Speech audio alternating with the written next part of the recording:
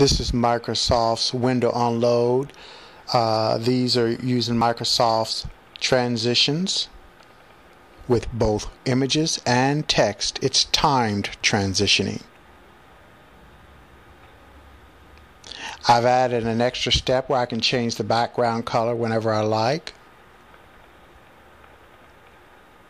I'm zooming in so you can get a better look and I'm going to refresh it.